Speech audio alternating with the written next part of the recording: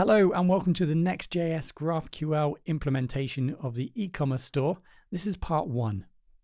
So before you invest your time in this tutorial, I want to explain what's going on here. So if you haven't already seen on the channel, we're running and we've started building a next DRF, so Django REST framework build of an e-commerce store. This tutorial is building on top of this tutorial and is essentially converting, it's removing the Django REST framework and we're going to be implementing GraphQL. So if you want to learn how to build um, from scratch up until where we are now in this tutorial, then go ahead and have a look at that tutorial first. That'll take you through the steps of actually building all the pages and explaining how Next.js works in, in general up until the point where we are now in this tutorial. And then in this tutorial, we're going to basically start now converting this application that we built already into uh, Next.js with GraphQL and Django. So I am assuming that you have absolutely no knowledge of GraphQL at all. So we're going to start from scratch, um, assuming that you've never utilized GraphQL before. So like I said, we are building an e-commerce store. We are here in part one. So I will be starting from the code that we finished off with in the video series that I've just mentioned. So we'll start there, we'll strip out all of the Django DRF, and then we'll start to include um, our GraphQL. So we'll start from scratch, we'll build up slowly uh, with some simple queries, and as we go along the series and building the store, we'll then move into more complex uh, patterns and principles and methods of working with GraphQL. So just to clarify then, we're building an e-commerce store. Um, we're going to be utilizing Next.js and Material UI for the front end. Uh, this is going to be with Django, and we're going to be implementing GraphQL in Django and Next.js. So if you haven't seen the introduction from the previous series that we're working from, and you simply just want to learn GraphQL, for example, um, and implementing it within a, a project, we are following a five-part series. So in this tutorial, we're going to be implementing a catalog system, just a kind of skeleton catalog system, which we'll work and build upon as we go through the series. And then in part two, uh, we'll then have a look at implementing a basket system. And then part three, uh, user accounts and user authentication and so on. And then in part four, we're moving to payments, so taking payments in our e-commerce store. And then think about in part five, kind of order management. So at that point, we'd take suggestions from the community and then look at how to potentially just Im improve the code base in general. So just before we get started, the workflow, we're going to download and set up Next.js and Django that we've already pre-created in the previous tutorial I mentioned. And then we're going to install and set up GraphQL on Django so that we can make the data available to the front end. Then next up, we go into Next.js install Apollo. That's going to give us the interface so that we can capture an interface with our GraphQL backend, our Django GraphQL backend. And then we'll just go through each page in Next that we developed previously, look at how we can then implement that from Django DRF to GraphQL. So that's going to take us through a path where we collect all data from the database, all products, and then we'll have a look at kind of dynamic pages and utilizing variables within our queries on the front end to collect data from our GraphQL Django backend. So to start off then, there's a few ways we can collect the or find the code for this tutorial. Um, it will be in the description, so you'll be able to download the starter code, but else just to kind of point out the fact that we are working from this e-commerce store one, the next DRF build. So you will also find a link here in the in the bottom here um, where you'll be able to download this code, this repository. So this will take you to GitHub if you're not familiar with this. And then from here, you'll find a folder. Inside of this folder is the Django and Next code. So what we need to do is just download that. Unless you already know how to set this up, you can just um, pull this down. So let's just download this. So once you've downloaded, just go ahead and extract. So you'll be presented with the folder here. So I do recommend uh, just take in these folders and just move them over here to the root directory. Um, else you're going to end up in the in the command prompt or the terminal with a, a long folder structure. So it's better to work with a kind of a smaller folder structure. So we've got the next core and the Django project right here. So let's open this up with Visual Studio Code and get it working. So just for anyone who's new to working with Django, um, so you're going to need to make sure that Python is installed. So my com command prompt here, um, if I just type in, see that, if you just type in Python uh, dash dash version, uh, so I've got Python 3.9 here installed. So just go ahead and install Python, go to the Python website, download, install, and you'll be good to go there. So, uh, so first thing we need to do then is just open up our project. So that was on my this desktop here. I think in a folder here. So Django. Uh, so open that folder up. We're going to need to make a virtual environment. So that's always ideal. So py manage m. Okay, so we're going to make a virtual environment. So we make a new folder here. It might take a few seconds on yours to build this. And I'm just going to go into my virtual environment. Oh, uh, oh excuse me. There we go. So we've started a virtual environment. So it says VMV here, which indicates I'm in my virtual environment. Now I've got a requirements file here, so I just need to run that. So I'm going to pip install minus r, then requirements text. So that's going to install all the dependencies for this project that we've already pre-built. Remember, if you're not too sure what's going on here, just head over to the website uh, and just check out the Next.js part one, Next D Next.js DRF build e-commerce part one, where I'll take you through how to set this up. Right, so now that's installed, uh, we should now go, be able to go ahead and py manage py and then run server. So that server should run okay. And then you can check out the server by typing in 127.001.8000 and that's what you should be presented with. Remember, this is just an API, so there is no front end here on Django you can see that we've got uh, different links here to this is actually wrong. Uh, I've got a different version running I think that's the problem at the moment. Bear with me a second. I think I've got another implementation of Django running. Here we go. Uh, so that's what you should see. Admin API so you can see we've got a lot of API stuff here. So you're not going to see anything else on this front end. So you can still go into the admin area so the username and password is admin and admin. And then you can see I've got some products already created and you can go ahead and change some of these. So if you want to add some products, remember we start from categories. You need to add some categories. Go ahead and add uh, product types and then products. So again, if you're not familiar, I take you through this and I'll keep repeating myself. I will take you, I've taken you through this already in this tutorial here. So if again, if you want to learn more about that, just go ahead and watch that first and then come back. Right. So that's uh, Django set up. So let's go ahead now and set up Next.js. So I've opened up a new window in Visual Studio Code. We're now going to do pretty much the same thing again. So I need to just go into my desktop.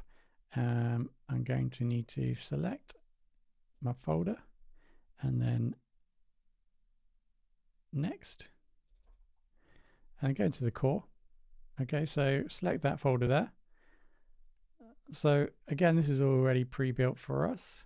Uh, so all we need to do at this point is run a few commands. So first we need to install the dependency, so npm install. So that's going to basically have a look at the packages that are needed to run this project and then basically install them. So once that's done, we can just npm uh, run dev.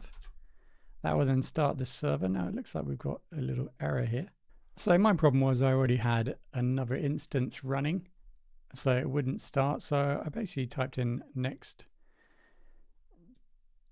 run dev again, and it's all okay now. So nothing happening there that needs fixing. So let's now go back into the application. So you're going to find that you're going to need to go to your local host and 3000 to start this. So that's the the next implementation. So you can see that everything is working okay. So this is the shop here, or the, the front end of the shop. We've got some basic products. We click on the products. So this image just needs scaling. Um, it should be a little bit bigger. Some of these images are probably scaled up like this one. So the only difference there is that this image is slightly bigger. So um, you can see on the left hand side we have uh, multiple images that will appear for the product and then the main image and then the title and the price. So we can then also use the category system that's also been developed. So for different categories, we can display different products. I don't think there's any clothes products yet. So just shoes. So that's pretty much all we've built in the first tutorial with uh, DRF. So we're now going to convert this over to GraphQL. So the reason to work this way, why have I not gone through the whole process again, is I wanted to showcase really the fact that you can work with Django DRF and GraphQL at the same time. And also it gives us a, a little bit of a contrast here. We can see the differences between Graph and Django DRF and why we might want to convert over. Of course, both of these technologies um, will live happily together um, and potentially they offer the same type of tools and facilities um, as each other. So one of the benefits potentially of using Graph is that there's only really one entry point into the server. So with Django DRF, potentially we're describing multiple paths into the system. So these are all kind of data endpoints here for different types of data. Now, with GraphQL, you'll see shortly, we only really have one path or one entry into the API, um, which can mean we've got less room for mistakes potentially. Um, we've got less to, well, not less, less to secure, but potentially we've got one entry point to secure, which can potentially, for security, make it easy uh, for us to maintain and secure the software. So we're not going to go ahead and uninstall DRF here. We're going to work uh, with both of them at the same time. Potentially we can remove them later on because we're not actually going to need DRF and GraphQL at the same time. But we're just going to leave it for now and we're going to get started. So this is where we start with Graph. In order for us, for Django to work with Graph, uh, we're going to pip install graphene Django. So graphene Python is a library that allows us to work with GraphQL in our Python environment. So if you don't know anything about GraphQL, so GraphQL is a data query language. So one of the main differences with working with GraphQL is that we use the query essentially on the front end. So with Django DRF, everything is done at the back end. Our query, so to speak, um, is organized and um, described in our views, for example. So here we describe what data it is we want to collect. We could add some filters here, for example, like we've done here. So we collect and organize our data. So with Django DRF, we send a signal to an endpoint, and these endpoints then are connected to data points in our view, and we collect certain data from each endpoint, for example. So if I wanted, for example, to collect the category data, I would then point to this endpoint here, uh, API slash category, and that would then give me all the data about the category. I would organize what data is collected here in this URL based upon the view that I've set up and connected to that URL. Of course, with Django DRF, we also have serializers, which uh, prepare the data ready for to, to send back uh, to the front end in a format that can be utilized and then displayed on the screen, for example. So that's the current setup with Django DRF. One of the biggest changes using GraphQL over Django DRF is that GraphQL, we create queries on the front end. So that gives us better control of what data we want to collect from our backend. So to give you an example here, if and when we're working with Django DRF, we create these endpoints. Just uh, speaking generally, we now have set out where all the data can be found. Now, for example, if we wanted to make a change, not only potentially we need to make a change on the front end, we need to make a change on the back end uh, to make a new um, point access point or an endpoint, sorry, for data. And then we'd need to change the front end um, code as well to match. So working with GraphQL, potentially we can just set up the back end with one endpoint, set out um, all the or the data that is available, and then we can just simply work from the front end. When we want to make changes to our data, we can just do that in the front end because we can just change the query on the front end instead of having to go to the back end, add or remove endpoints here and so on. So there are some benefits of uh, using Graph over Django, and hopefully we'll see that as we go along. So before you ask me which is better, GraphQL or Django DRF, the answer to that is that they both technologies provide similar features and functions. Uh, they do that in, in different ways, and they both have advantages and disadvantages. And it's really up to you to determine what those are and to try and match those to the projects that you're working with to determine which technology to choose. So you do have the option, and what I'm showing you here, of using both. So maybe you start with the tried and tested uh, DRF, and then over time, and where necessary or where needed or where suitable, you could potentially start utilizing GraphQL. Okay, so let's start off by installing Graph in our system. So uh, we're going to install Graphene Django. So let's do that. Uh, so here we are in our, let's just sort this out. Here we are in Django, yep. Uh, so I'm just going to stop the server, control C. Let's uh, pip install Django. Okay, so once we've done that, uh, we need to probably put that into our installed app. So let's have a look. Um, so yep, we need to put that into our installed apps. That's next. Always windows open. So let's go in now and do that. So that's going to be in our core settings. You're probably familiar already with this. I do apologize. So we'll save that there. Okay. And that's pretty much it um, at this point in terms of installing. Um, there's no need for us to migrate at this point. So at this point, we can just um, follow this. So you can see here, um, we potentially need to set up something called a schema. So let's just go ahead now and just uh, put this schema in and set up a, a schema page. So what we're going to do, before I explain what schema is, we'll just go into settings. At the bottom, say we'll just put this in, and we'll just make a, a small change here. So this is essentially pointing to a file called schema. So our app is not called app, it's called store. So let's go in and in the store, we're going to build a file called schema. Inside of that, we're going to have schema. And this is where Graph uh, can find the schema.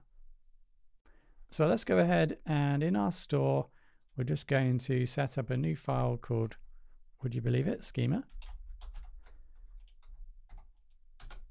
So that's now in our store. So now that's uh, nicely connected to our settings. And inside of here, we're going to set up our schema. So to summarize what a schema is, right? So here in Django DRF, we have our URLs. They're pointed to our views, and we have serializers to convert the data, say just generalizing it, converting the data and preparing it to be sent across to the front end. So our schema is basically a description of all of that. It will describe what data we want to include to be available from the front end. It's going to include all the queries and what is described as mutations. So if we want to add data to our database, mutations or changes um, that we want to build. So basically the schema describes all the data, the connections between the data, and then all the operations we can then perform on that data. So at least to begin with, utilizing Graph, uh, with Django, you're going to have everything in this one file. Whereas with Django DRF, we set up our URLs, our views, and our serializers. With, with GraphQL, everything's going to be initially within this schema file. We are going to include a URL to point to our schema, but remember here with GraphQL, we're only going to be building one endpoint, and that's just going to be pointed to our schema, essentially. So let's just go ahead first and set out our URL. Now, like Django DRF, the API view, here in Graph, we also have a, a kind of uh, UI interface that we can utilize and prepare our, our qu queries, for example, or practice running our queries to test our system. So that's a really handy tool which we're going to use. Uh, so let's go ahead and just set up our URL. So we're going to do that in our core in actual fact. So head over to the core settings or URL, sorry. So we're just going to bring in our the GraphQL view. And we're also going to use the CR, CSRF exempt. Um, so that is just going to, if we get to the point where we create mutations and send data across, we're just going to be utilizing CS, CSRF exempt. So we don't have to pass over our CSRF token. So once that's done, we can then create a new path. So we can decide what path or entry point we want into the system. Here by default, we're given this option of, um, or utilizing GraphQL slash. So you can change that however you want. And then we're going to use the CSRF exempt to then essentially run this GraphQL as a view. And then we're going to set GraphQL graph IQL uh, to true. And that's the setting, um, if I remember correctly, that's going to set up the kind of the user interface or allow us access to the, the user interface so we can practice um, and run some queries. Right, so that's pretty much it there that we need to set up. Um, everything now is just, notice that we're not we're not actually connecting to our schema. We're not describing our schema here. What's happening is that in our settings, um, Gra Graphene is going to be looking for our schema just here to find the schema it wants to use. Remember the schema being with all our where our data is described that we want to use and all of our queries, etc. So we can also set up our schema here or describe where to find our schema here if we want to. Um, it's entirely up to you. You'll probably see if you've looked at other tutorials, you've probably seen um, someone or potentially this way where the schema is described in the URL instead of in the settings. Okay, so now we can go ahead and just close this down. Right, so we go back into the schema now. So this is a schema inside of our store and let's get going. So first of all, we need to import graphene. We're gonna we're gonna need that. And then here with the graphene Django, we have special Django object type. So that's very specialized, obviously, for Django, Django object type. So we're going to make uh, objects, our graph objects. So here we're using graph technology. So I'm not going to go into graph technologies, what they mean, etc. But by all means, have a look at what's going on here, kind of the uh, the theory behind this. But we're going to basically now describe the data we want to um, use in our API and essentially, in some respects, build a graph. So connected data um, in a space which we can then query. So we use or we describe objects in our graph, and we can do that through, in this case, the Django object type. So let's just uh, bring in our models. So we've got a few models here. Uh, we're going to import the, let's just start off with product. So that's our product model. If you're not too sure with the models, have a look at the previous tutorial, like I keep mentioning, apologies, or have a look at the model here for the different fields that are available. So what I need to do here then is set out a new class. Um, I'm going to call this uh, product uh, product type. And then I'm going to bring in my Django object type. So that sets up the object. Uh, and now I'm going to use class meta. So I just need to describe the model that I want to use. Yep, uh, that that's the uh,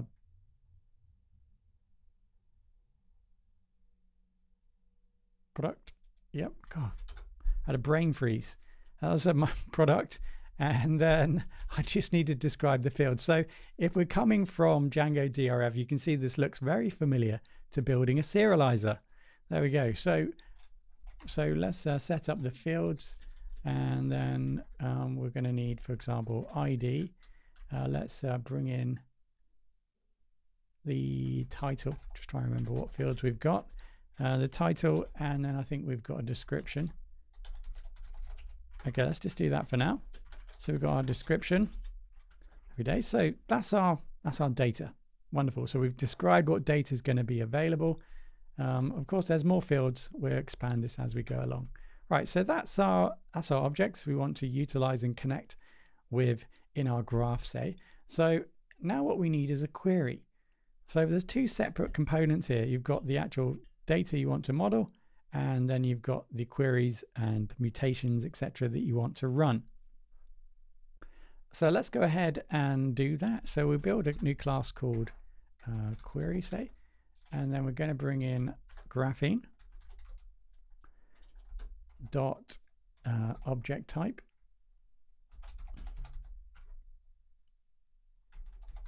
Yep. Uh, so what we're going to do now then is basically we're going to point to our data, so or to our our object. So let's do all products. Oh, let's use some capitals here.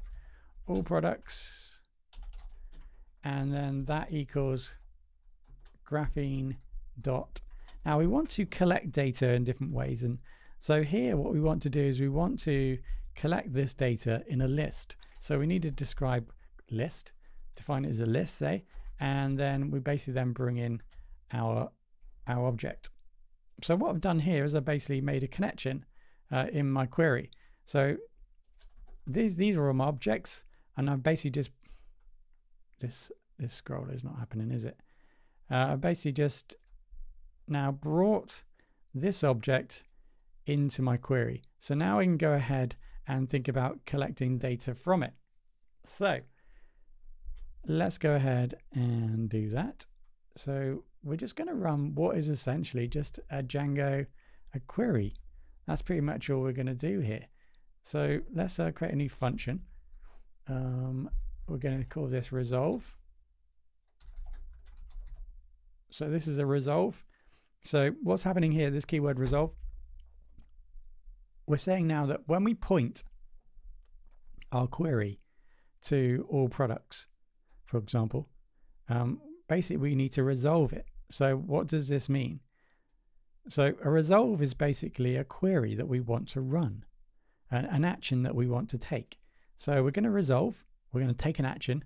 Now what do we want to take an action on? Well, in this case, we want to take an action on all products. So once we've done that, we just need to then kind of bring in some resources. Now I'm going to skip this detail here. So we want to bring in root and info. So let's just skip that for now, those details. So we just need to bring in root and info. Right. So now we've got this in place, uh, we can now uh, think about running a query. So let's just go ahead and run a query. So we just need to return a simple kind of uh, what's happening there? Uh, a simple return. Let's just sort out these spaces.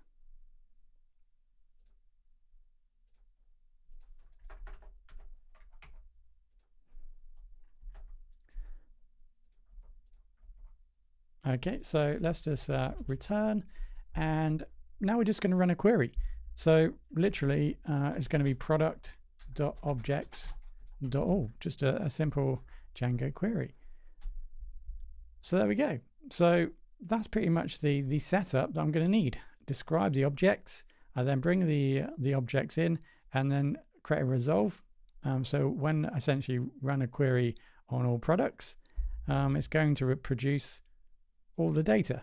Now, obviously in the front end, I can now run a query and describe what data I want to collect. Now, this is the difference. So with Django DRF, we create our, for example, uh, our serializer. And in our serializer, we describe what data we want to return. Now, we don't have a choice here. We return all of that data potentially from our serializers. So here we've got a little bit more control in terms of what data is actually returned. So I'm just speaking generally here again. Uh, so although here I'm running a query, um, get all data, what I can still do is from the front end run a query and only collect, for example, the title or only return the title or only collect the description, for example. So it does Graph is providing me a little bit more control potentially in what I want to collect and return to the front end. But here, because I've generalized and said I want to collect everything, it does mean, again, I've got that control. Sometimes I might want to collect the title. Sometimes I might want to collect everything. Sometimes I might want to collect foreign key connections between this table. And I can do that simply by describing just all here. Um, and that graph is now providing me through my queries I'm going to now build that flexibility of collecting that individual data. So let's go over to the front end and let's just run this. So let's find that. Yep. Uh, so it was GraphQL. That was our endpoint. So I don't think the server's turned on. I do apologize. Yep. So just make sure you're running your server, of course. Now it looks like we've got a problem here actually. Um, oh, okay, I've not finished this. Apologies. I've I've skipped a, a, step. So I just need to connect this up now. So I need to connect this query uh, to my schema so it runs. So when I say that again, connecting my query to my schema. So this is my schema. I need to connect this now to a graph to make it available. So these queries, I need to make them actually available so that they can be um, queried upon. So at the bottom here, I'm just going to call this schema. That equals uh, graphene.schema. So I'm basically just describing it as a schema. And then I'm going to basically say that the query equals query. There we go. So here then I'm basically saying this is uh, my schema. If I want to find any queries, then you're going to find it here in queries, this class called queries. So that's where you're going to find my queries, or, or that's where you what you can query. These are all the uh, things that can be queried. Okay, right. So now we should be able to, assuming yeah everything is working, let's go back into the front end and just refresh. So now you can see, and welcome to GraphiQL. So from here, you can see that I can start to run queries. So I've got a little bit of a history on the left-hand side of all the queries that I've run, so I can remove that. I'll zoom out a little bit. Um, you've got this option here, prettifying things. If you like, um, you can move and copy in history. Wonderful. So this is how it's going to work. So we're going to start off with a, a query. So the wonderful thing about using GraphiQL, it knows, because what we're doing here is we're building again, uh, without trying to explain, we're building a. Uh, imagine uh, this is. I apologize for this. Uh, this is like the blueprint. This is all the these are all the uh, models I'm going to use. So this is describing all the queries potentially we can run, but these these are all the objects in my graph. Say so over here because we've now made that available. Uh, imagine essentially that graph has now been built. And I can use that now, or this tool can use this now to have a look at the graph so it knows potentially what I can type and what I can't type. So this is a really handy tool. So I've got a query. Uh, this is the, the type of format I'm running here. So we'll run with query first. So we can give it a name, just an arbitrary name, whatever you like. That is not a problem. So we can we can we can name it there. So now we're going to say basically what we want to make a query on. So there's only one thing at the moment we can build a query on, and that here is all products. So let's go ahead and do that. So all products, there we go. So I just type in A and you can see it all comes up for me. So again, I use my curly braces and now I just need to describe what data I want to return. So data that I have available is ID, title and description. So I can control what I want to return. So maybe I just want the ID. So I do that, press go, and you can see this is the data now. I've uh, brought back to the front end. So this is the data that I've collected and now will be kind of collected from the front end so I can deal and work with that. So I can go ahead. So I don't need commas here. Uh, let's just go for title, I think it was. Yep, title. There we go. So I can add some more data. I can control, for example, right, in what order I want the data. So just flip this around. You can see it gets returned in that way, although it doesn't really make any uh, difference um, to me. Uh, so I can control what I want to collect. So let's just go in and do the uh, description as well. So those are the three things I've described so far that I can collect. And it's, I want to say it's as simple as that. This is how I'm going to collect data, at least to begin with. So let's just go ahead now and just, uh, I'm going to include all the, the fields I'm going to need here so that we can start building on the front end. So these are just all the fields we're going to need. Uh, we're going to need a slug. Just get rid of that for now. Uh, so ID, title, description, regular price, and slug. So those are all the fields that I'm going to need to send across to my front end. So let's now go over to the front end and have a look at how we can now implement it within Next.js. So in order for us to interface with our GraphQL backend, we're going to be utilizing Apollo inside of Next.js. Um, there aren't too many options available for this, and Apollo is an industry standard uh, GraphQL implementation according to apollograph.com. Uh, so let's go ahead and install this. So just following the Apollo docs, uh, so this is the apollograph.com docs and the React. Uh, so you can see here that we're going to npm install Apollo client GraphQL. So we copy that. Let's go into our into the right place. Let's just uh, install that. So let's start off by going into Pages, API. I've removed the file that was in here already. And we're going to create a new file here, and I'm going to call that Apollo client.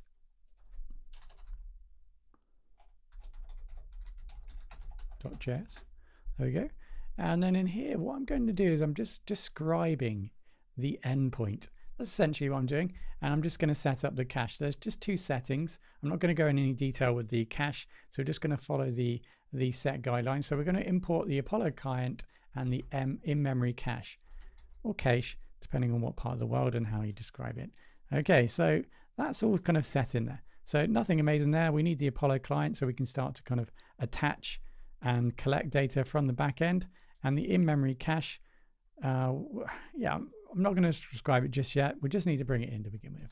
Okay, so now what we need to do is to build a client connection. So let's just uh, let's do this. So we're going to build a client connection. So we'll call this a client or whatever you like.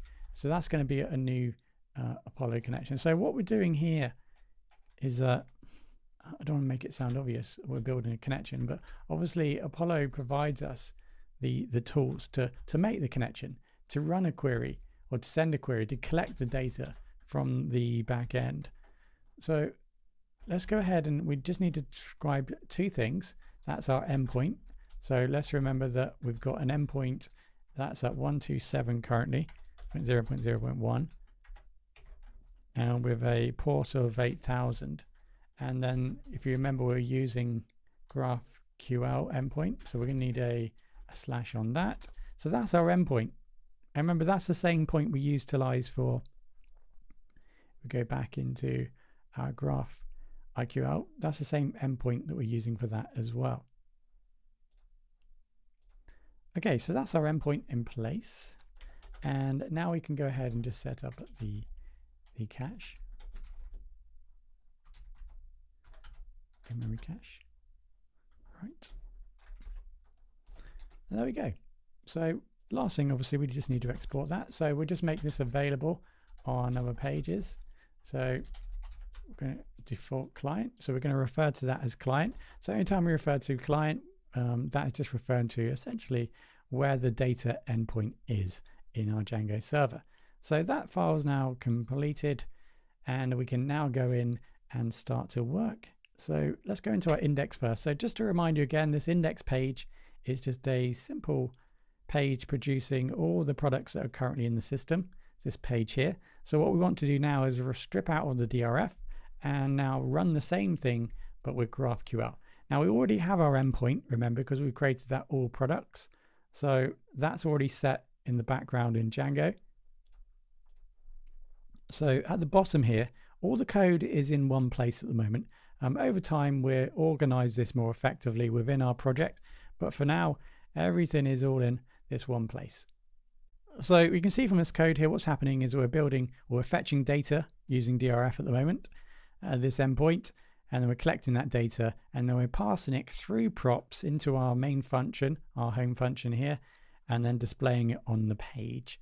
So that's currently what's happening. So we're going to follow, I guess, a similar process um, so we don't need to touch this just yet. Let's just uh, start to create our query. So this is um, the query that we're going to build. Well, in actual fact, we've already created the query because if we go back here, this is the query that we want to run. We want to extend these items and include more, return more items, but this is the query. So this is a good thing about GraphQL. We can run our queries and test them here before we then copy them across to the front end. So let's just um, set up a simple simple implementation of this. So in order for us to actually use GraphQL, obviously we're going to need to bring this in. So we're going to need two things. We're going to need the uh, GQL. That's going to allow us to create queries or format the queries, say. Uh, and then we're going to need our client that we just built. So our client uh, let's just remember where we are. So we're here in index. Our client is in API folder. So dot referring to this folder slash and then API this folder here and then collect this file here say. And then we want to from that file um, utilize client within it. So we'll bring that in. It's all good. Um, so what we can now do then is, like I said, I keep saying, let's uh, run a query. Right, so let's create a new function. So we're going to return the data um, inside data. And that's going to now, uh, so we're going to return data and data. So we're going to run a an asynchronous await. So what we're going to do is uh, use client to send a request. What, um, what are we going to send? We're going to send a query to it. Okay, so that's what we're doing. So now we just need to describe our query. So we're sending a, a, request to client. Remember, client already has the details. We've set that up so it knows where to send that request, where our Django backend is. So we're going to now run a query. So our query is simply query. Um, and then we're going to need to use a GQL here. So this is basically just formatting, um, pre preparing to format our, our query. So we're going to use the backticks. Um, so here we go. So now we're just going to run our query. So we'll just type it out again. So I'm going to call this query products. I'm going to call it all products. So this is just like an arbitrary name that I can utilize for this query. So it has no reference to anything else at this point. So now we we run our query. So all products, um, and we want to collect data. So we wanted our title, we wanted this description, uh, we want the regular price.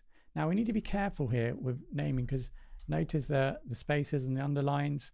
Um, for example, if I go back into here you can see the regular price price as described in the database has an underscore and that gets removed and we see that there's a, a capital P so things like that we need to be careful about so here you can see I reference it to it as regular price and not regular underscore price we're going to need the slug so that's all data from our products wonderful right so that's our query so I guess what we should do here is just test to see if it's working so let's pass over data to our props so we can put it onto the page and just console log it. So remember all the data is inside of data. So inside of here is all of the data that we've just returned. Inside of data, let's just go back here. And what you're going to find is that our data is then going to be within all products. So data dot all products. That's where we're going to actually find the data. So what we can do is not send all the data across. We can kind of format it so we can say um, data dot all products. So here I'm basically, yeah, I'm, I'm basically just uh, taking the data out of the data and referencing it as all products. So I get the data. So I'm just moving down the data um, structure so that what I send across is just the data and not data within the within the data. so it just allows me to refer to the data easier, easily when I pass it across. So, um, so just imagine that the data is going to be kind of formatted or returned like this. So data, and then all products, and then so data, and then all products. I don't know why all products there as well. Data, then all products. So basically, I'm saying I'm going to pass over data dot all products. So it just passes over that instead of passing over, for example, that and I have to kind of loop through everything.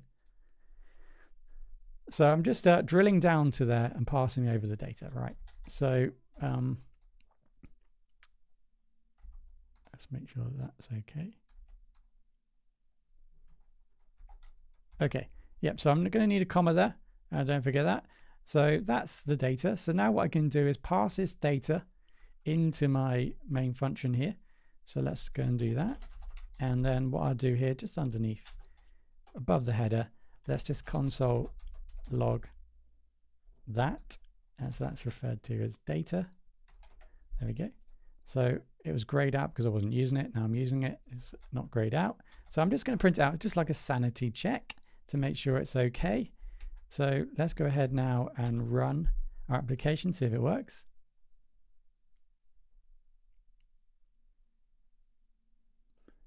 It's taking its fair time. So let's go over to our page. Here we go, this is our home page. I'm going to refresh. Mm, looks like it's working okay, it's good. And so when I now F12, I can now see this console log that I printed out and you can see the data that I'm now being that's now being returned from my GraphQL implementation on Django. So this data here is actually now being returned. Everything is all good. Um, and now I can deal with this data on the page as needed. So I'm now just going to swap over all the data on the page. Right, so let's bring us down. I don't need that anymore. I know that is also the console. I know it now. I know it's now working. So let's have a look. So at the moment, you can see that data comes through posts and it's being mapped across via posts. So all I need to do here is uh, just change post to data. So post is still, remember all the data is basically looped out um, and it's referenced as post every time it loops out. So I don't need to change this here. But what you probably noticed is that I'm not going to be utilizing underscore. So I'm just going to get rid of the card media because I don't actually even have the that yet. I need to do something else to get that. And I'm going to explain that shortly. So I'm just going to comment that out for now. So I'm going to loop through this data. I want the ID. Oh, yep. Let's get the ID. So post ID, I've got ID, I've got title. Now notice here, post regular price. Remember my data is now being referred to as regular price and not regular underscore price like it was with um, Django DRF. So that's now changed. So exciting times. Let's have a look, see if it works. Post slug, I've got the slug. Let's have a look. There we go, you can see it's actually happened. Now it looks like I've, yeah, I've got my keys. I need to sort out the keys. Uh, post ID. Um, hmm, not entirely sure why it's not using keys, but that's a, a trivial problem at this point. Right, so you can see that it's working. Now the problem I've got now is that you can't see, and well, it's not linked for one, and secondly, you can't see the images. So we just need to quickly remind ourselves about the database. So I've got the documentation. This is in Django, the document schema. So let's just go over to the actual schema. This link here links you to this page and you can copy and paste this code in from here, from here. Just copy and paste it in and you'll be able to see then the schema for the database you're working with. All right, so this is the database. So I've just collected all the data from the product table. Now you can see that the product image table is a separate table. So the next task that we need to try and work out what to do is how to collect data from a separate table. So the foreign key is in the product image table. So the question is, how do I traverse or reverse or use a reverse foreign key from the product table to the product image table? Now with Django DRF, I'm not saying it's complicated, but it can be quite a drawn out process potentially of trying to think of how to do that. Here in Graph, it's building associations.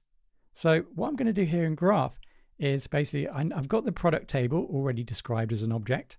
All I need to do is build a new object and then I just need to tell product um, that product image exists and Graph will do the rest for me. It's as simple as that, I promise. So um, just to confirm if you're not familiar with this, so product image is connected via a foreign key here called product which I probably need to change. Apologies for the naming here. It's going to sound a bit weird, but I'm just going to go with it for now.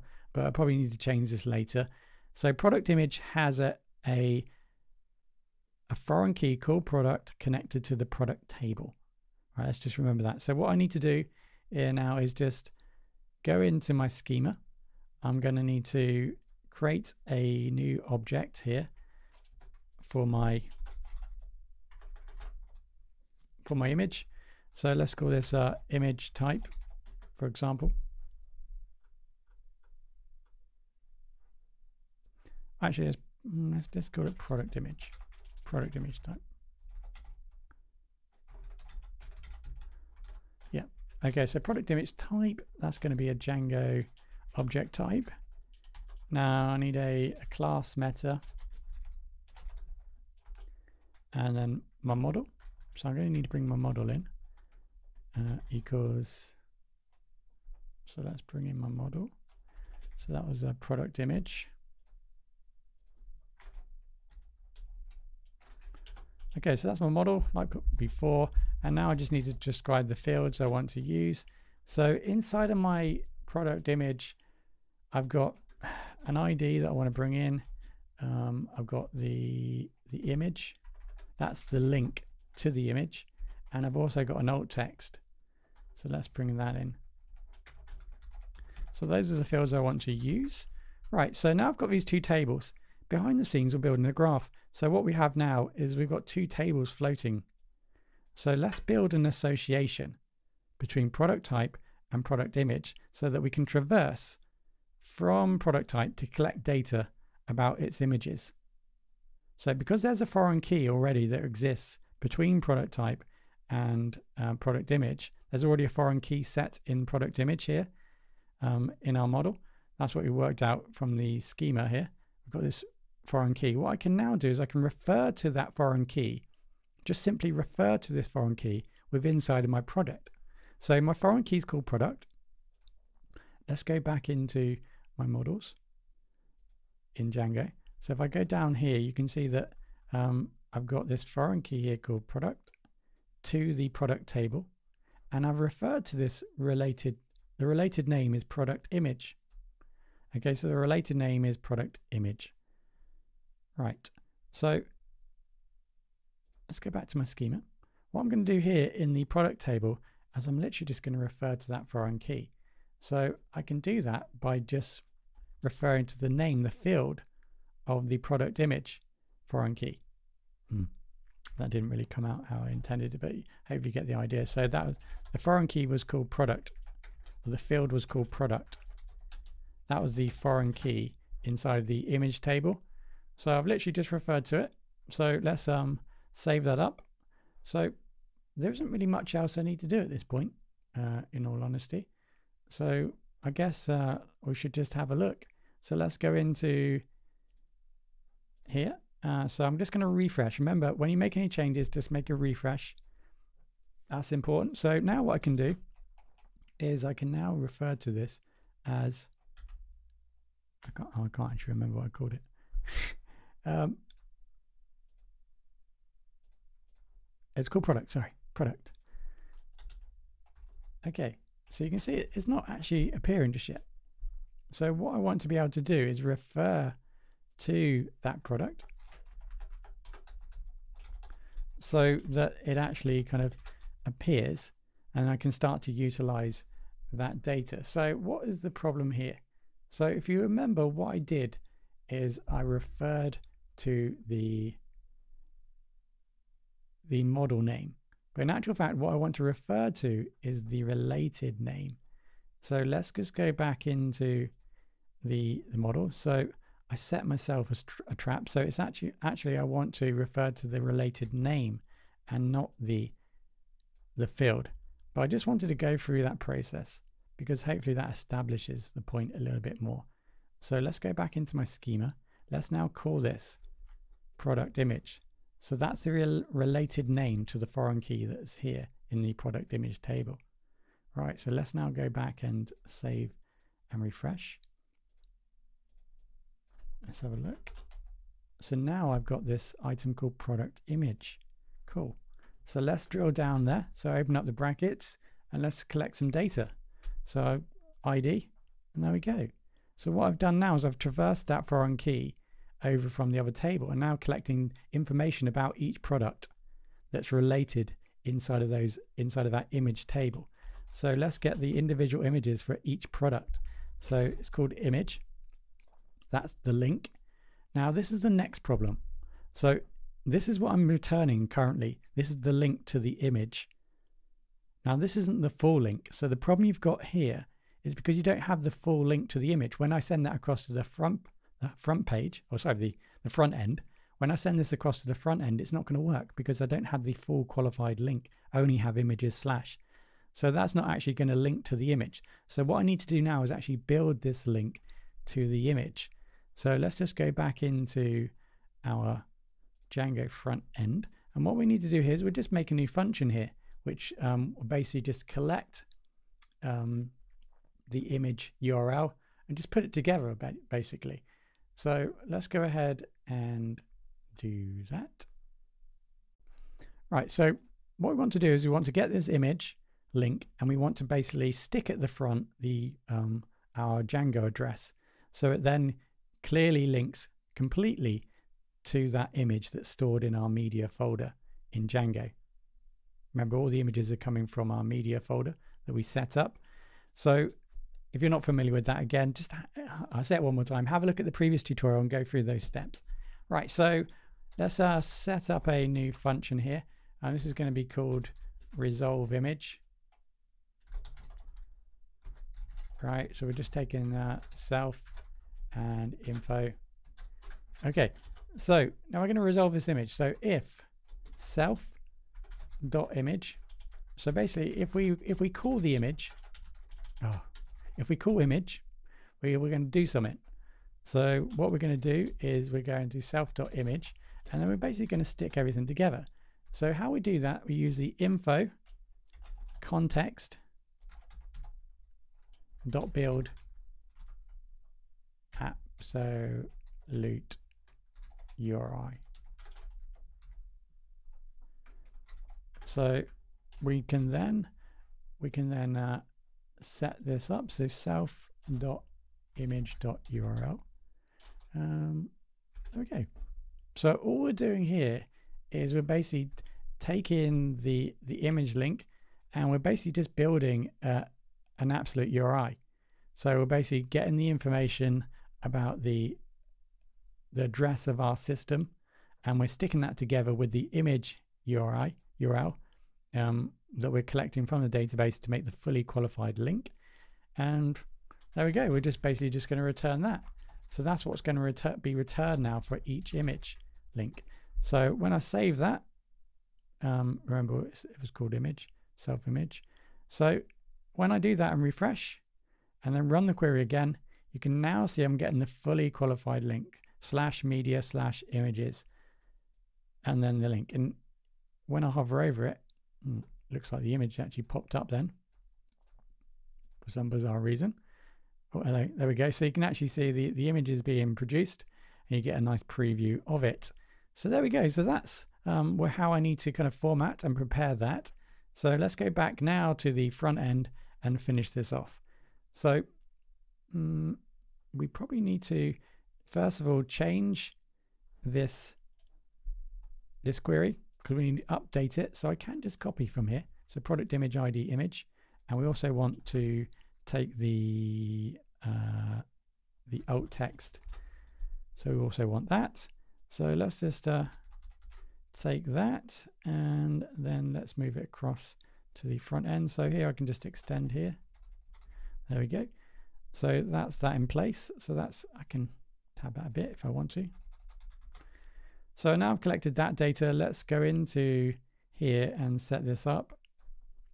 So here we just need to know and just to think what's going on here. So we're using this dot here to, to, kind of traverse to move forward into the data. So the dot allows us to kind of move deeper into the data.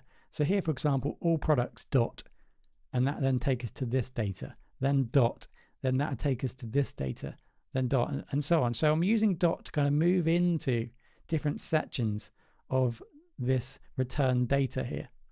In fact, there's return data on this side here. So let's have a look at what we're going to need to do here. So in post, inside of um, post, this data, I'm going to have a data structure um, which will also have product I image. So I need to go into my data and then I need to dot product image. So I need to go one kind of step further into product image. Now here I'm using um, zero, which represents the first item that's returned, the first image that's returned, and then image. So let's just uh, let's just see if this works. Maybe this is just maybe this is just work. Um, let's give it a go. Oh no. So cannot read property zero. So it's this structure here we now to think need to work out what is the problem. Now I can already see what the problem is. And you may have already guessed this. Remember, we're not using the underscore anymore. So again, just double check your, just double check um, by going into the the IQL here. And you can see from here it says product image without the underscore. So we just make need to make sure that we're um, calling this correctly. So product image, that's kind of the, the data point that we need to, to utilize. So let's do a bit of that and then refresh the page and make it sound like it's going to work and it works. There we go. So we now have our image. Right, so that's our image in place. Uh, it looks like we've got the, the alt text also available. Um, we actually, that's a good point. So the alt text also requires us to get rid of that and do a bit of that. So we don't need the underscore. Again, just double check with the data that's returned. Um, so image, oh, we're not actually collecting the alt text, doesn't look like. Let's have a look. Maybe I made a mistake there. Okay, so alt uh, and text. Let's just uh, alt text, alt text. Okay, so we're collecting the alt text. That's not a problem. So we've formatted that. Um, yep. So that is now working, and we're good to go there. So next thing then is the fact that we can't. There's no link. The link isn't working at the moment. So we need to sort that link out too. So let's go back in here. So you notice that we're collecting the slug. Hmm. Okay, so product post slug. So what's happening here then? We are collecting the slug. Looks like it's um okay. So we need to just double check everything. So we are asking for the slug. So we just need to ask ourselves and go back. Well, if we're asking for the slug, are we actually collecting the slug from the schema? So inside of a schema here, yeah, I've got slug. So it looks like I am trying to get the slug. That's the URL path. So that looks okay. So there's nothing obvious here which is suggesting that I'm not getting the slug. I can look at my IQL and see if I can actually return the slug properly. So let's just type that in. Is the slug being returned? Yeah, it is. So that's kind of the, the slug right there. Um, it's just the name of the product. So let's just go back into my code again and have a look to see what potentially is the problem. So Interact is okay. So and the slug looks like it's is working okay. When I click on the items, that's linking me to the individual pages. Notice my my mouse doesn't change. Doesn't look like it's a link. It's just a error, not an error in the code, but it just needs changing to make it more obvious that that is a link. So that is my link working okay. So that's the, the link that I built. Looks like it's working fine. So obviously what I can do now is just remove the the API here fetch that we created with DRF. So I remove that. The we'll keep the categories in place for now. We'll do that shortly. So I don't need posts anymore. And then I can remove post now from my function. So I don't pass that in. And I think once we've done that, we just double check and our page is now being converted from DRF to GraphQL. So let's just move ahead now and just go to the next page and just do the same thing with the next page. So let's just remember that we have a dynamic link. So we do the product section next. So when we click on an individual item, it takes us to the product page. Now here we're using a dynamic link. So what we're doing is in the links that we're building on this page, we click on them. They are sending across the name of the slug that's being generated from the database and it's using this as a dynamic link. So this is just one page we're using for all of these products. Now, what's happening here, you can see this product page is called slug. So this is referring to a dynamic link. Again, I explained this all in the previous tutorial, the one I keep linking to you, reminding you about. So that's creating a dynamic link. So that word that's being generated here is being basically passed in to this slug. And then what we can then do is utilize that to make a dynamic link. So let's go into here. So what we're doing here is we're collecting that through the parameters. So at the bottom here, what we're doing is we're collecting that slug name through these parameters here. And then inside the parameters, we have the slug, uh, say variable or data. That's the, the name of this here. That's just being passed in through the parameters.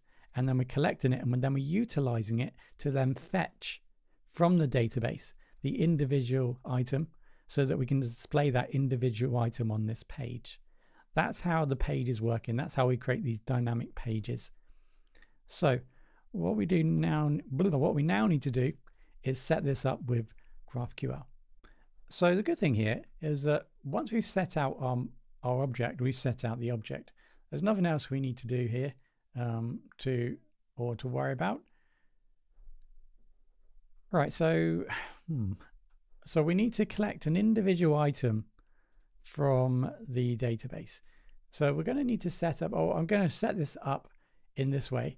Um, we're going to create a new point here. So this is going to be like a query reference. So this is going to be all um, products. Um, it's going to be by name, right? So all products by name. Yeah, all products by name. So that's going to be my kind of query reference uh, that starts off so I can qu query. That's going to equal uh, graphene. Now this time I'm, I'm returning one item, so I'm going to be utilizing field.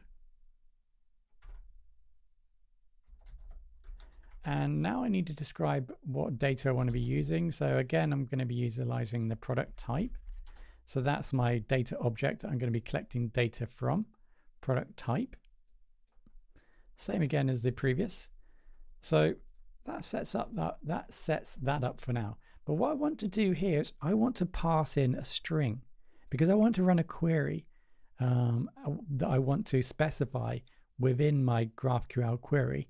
So for example, I want to collect one item from the database. So I need a way of saying, well, I want to select this one from a database. So I need to be able to pass in a parameter to do that.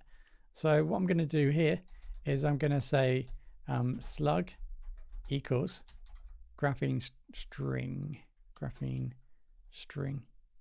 So I'm going to pass in a string, which I'm going to refer to as slug.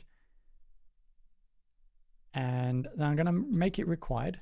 So you have to type this in um, equals true in order to run this query. So it is expecting it, um, otherwise it's not going to work. So that's that. Now I'm just wondering why there's an issue there. Um, there needs to be a comma. Okay, so we need a comma. Okay, so there we go. So that allows me now to pass in a string to this, essentially this query. So now I need to resolve this query. So what I need to do here then. So I could adapt this potentially, but I'm going to try and make this a little bit more easy to understand by creating a separate. So I'm going to resolve, let's resolve all products. Uh, I'm going to get a, a, capital P. I'm going to resolve all products uh, by name. Um, and now what I need to do is I need to pass in some more some more parameters here. So I've got root, which I haven't explained, and info, which again I haven't explained. Uh, but I need to now pass in an additional, and that's going to be slug. So it's going to be this string that we enter into the into the query that's going to be passed in. So we've got slug. Okay, so now we need to do something with it. So let's try to um, return um, products product dot was it product? Yeah object. So we're just going to run a, a Django query objects dot get an individual item where the slug in the table equals the slug that we typed in. So we're just matching the slug. So if you're wondering what the hell is a slug so it's just a, a data point that we're using inside of our products table. Mm, product specification. Excuse me products table. So we've got this slug here. So we use the slug to kind of create address addressable points to potentially access the products table. Um, so this is basically going to have a name in it. And all we're doing we're going to match whatever someone's typed into the query to a product. And when we make that match, it's going to return that individual product. Excuse me. Right, so that's that done. So we're going to try and do that. Um, we can do an accept here.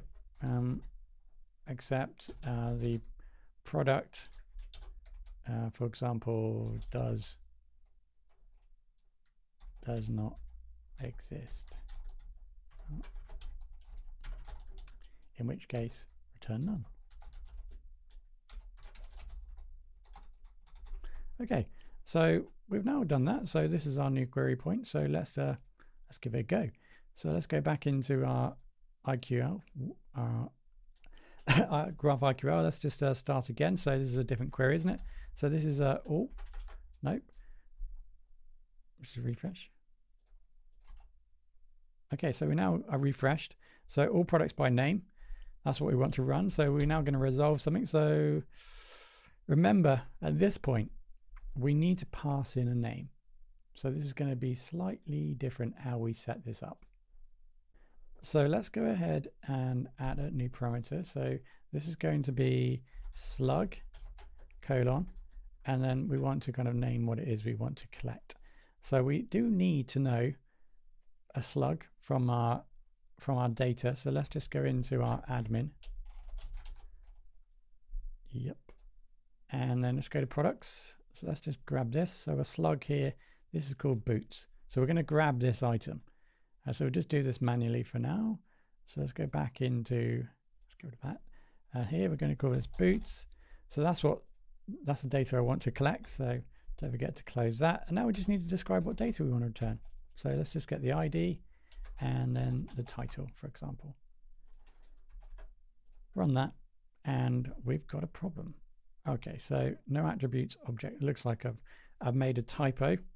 So let's go back into our Django and get objects.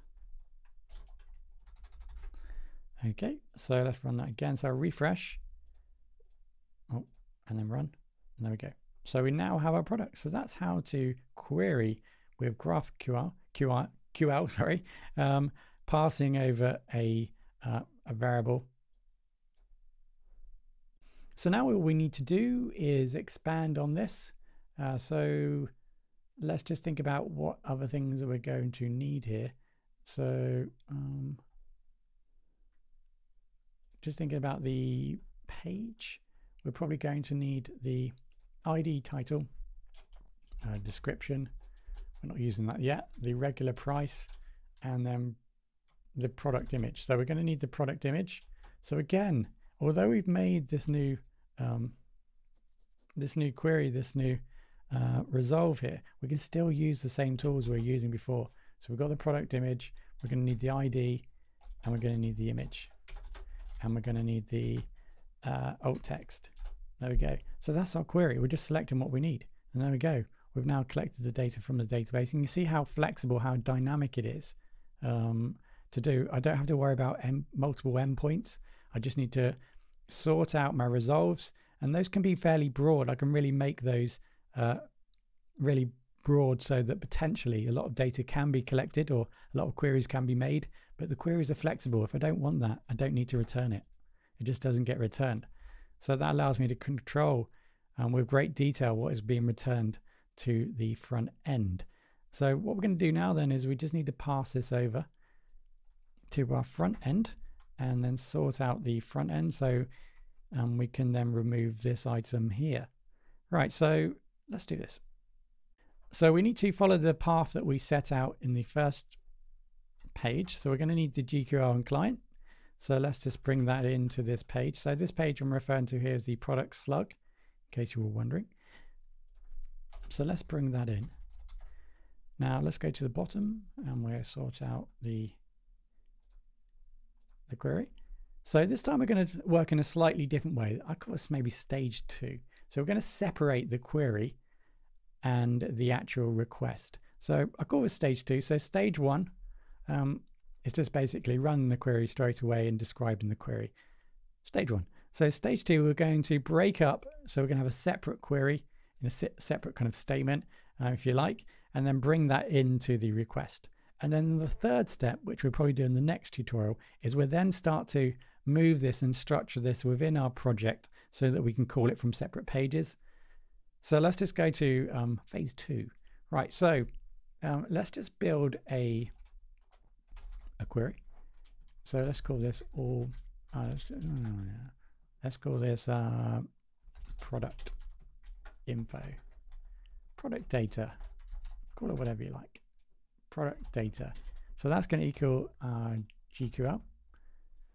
Happy days. So um, we then basically just need to describe our um, our query. So utilizing our backticks. Um, so let's do query, and then we're going to need to set up some variables. So like you saw before with the IQL here, we're going to need to pass in a variable here. So obviously we can't make a static variable because we want multiple products. So we're going to need to pass in a variable into our query. So this is why we're going to stage two here with our with setting out our query. So um, what we need to do first is define in the query um, what data is potentially want to pass across. So here I'm defining um, the slug, the data, and then I'm describing the type of data. So this is a string. That's what I want to pass in. Right, so now I've got my all product. Uh, oh no, what have I called it? I've called it, yeah, all products by name. Okay, there we go. So now what I can do is um, describe, like I did previously, slug, and then what I want to match up. So this time I want my variable slug.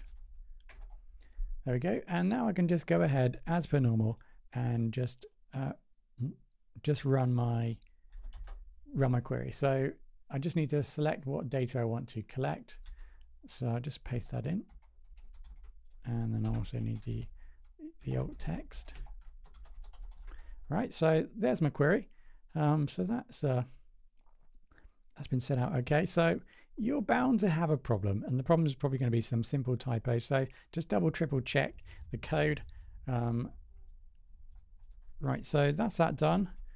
So that's my query. So let's now actually pass in some variables. So I'm going to just quickly or manually just build this variable here. So slug equals. So what I need is the, from parameters, I need the slug.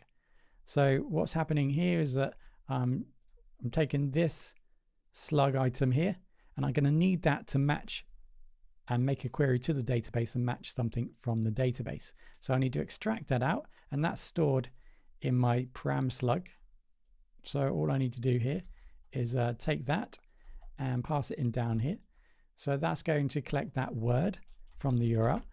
And now all I need to do, I say all, is I basically just need to run my I just need to run the query. So I'm going to save all the data from the query into data equals await uh, dot, oh no, client dot uh, query. So I'm going to run the query. So remember client is the connection details. Query, I'm just describing the fact I want to run a query. I'm going to need some parentheses here. There we go. Uh, so inside of here, I just need to set out um, the query. So just tell them what query to run, and that is going to be I'll call it product data. So that's the query that I want to run. And now I need to pass in the, the variables. Okay, so this one is going to be, in this case, variable, of course, variables. I'm going to pass in slug. Okay, so this slug here. Um, so I'm going to pass in slug. Now, what I potentially could do is I could just do that, but maybe I'd need to format here. So I'm going to need the curly braces. Um, so there's two ways I could pass that in. So just be careful of how you kind of format that. Um, well, that wasn't strictly clue, clue, but just giving you an idea, just be careful how you format that. Uh, so that's uh, your slug. That goes in. So this data goes gets passed into here, passed through here, uh, into here to actually then make that um, dynamic request for individual items. And of course, every page you go to will have a different slug, as we're calling it here. And of course, that will then be used to create that individual uh, query for that individual product when you go to those individual product pages. Right, so hopefully you can see the, the flow there. That's um, that data's been generated here, it's been passed in to the query through here and then down to here. Right, so that's now done. So hopefully what I can do now is same as what we did before, data. We then just uh, collect, um, we drill down the data and just collect the data and that we're going to want to use and pass across. Um, I can't remember what it's called. yeah, all product by name. Okay, so we're to need a comma. So that's that. Uh, so now what we can now do is just do a sanity check to make sure it's all working. So in our main function up here, I'm just going to pass in that that data and then just above the header here, uh, let's go ahead and do a console dot log and then we're passing that data. So just see if we can print it out in the console log. Let's go back to our page. We're going to refresh our page. Uh, that's F12. So it says undefined there. So it looks like there is a potentially as a problem. So the data is not potentially being uh, returned. So uh, let's just go back to the home page. Let's just pass it in again. So undefined slug. Okay, so there's potentially a problem here. So let's just take a look at what's happening. So data.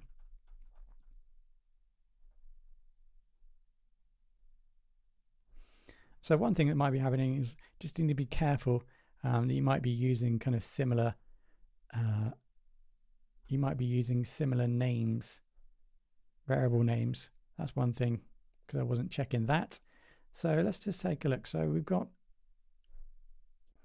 Okay, so just looking at the terminal, it's uh, describing what the problem is here. The fact that I copied across the client from the index page. Now the index page resides in a different directory structure. Notice that I'm using the products folder here and I'm working within this file. Now that means that I'm trying to call the Apollo client file from the product slug page. Of course, that's in a separate folder. So at the top of this page, what I need to do instead of dot referring to this directory and then API, I need to go outside of this directory, go back one of the directory, traverse into the previous directory. So I'm inside of here. I need to go out of products and then I can then go forward into the API folder and then the Apollo client folder. So that's what's happening there. Uh, so hopefully um, it should all be okay now.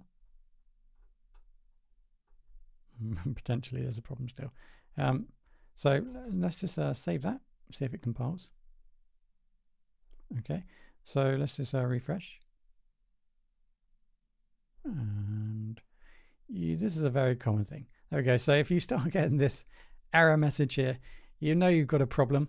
Um, so at this point, the problem here is it's not very obvious what the problem is.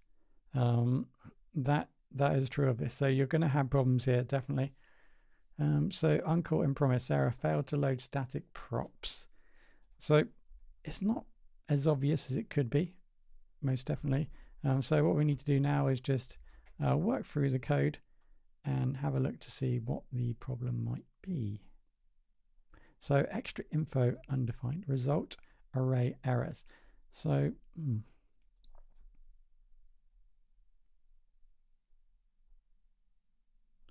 status code 400. So mm, it's not too obvious what potentially the problem is here. So I'm just setting this problem up for you just to think if you're not familiar with this. The problem here is that I'm showing you this pathway and if you've not used this before, it almost becomes impossible for you to solve problems um, because you've no idea potentially where to start. So um, uh, if you're following the code and you have problems and the problem that I've just shown you, just work backwards. So let's remember that what we've done is we passed it into this console log. So let's just get rid of that. Let's get rid of the data from there. And let's just remove the data point down here. Right, so let's start like that. So that's now all removed. Um, so we'll have a look now to see if it loads. You can still see we're getting an error. So, okay, so obviously I'm not referring to data now, that's not a problem. Um, so let's just remove this here. And then let's try again. And you can still see that, um, we can still now see that we don't have an error. So although I know no, you potentially know nothing about the code, by just moving back and forward, you can see that potentially the problem in the code is it's potentially here.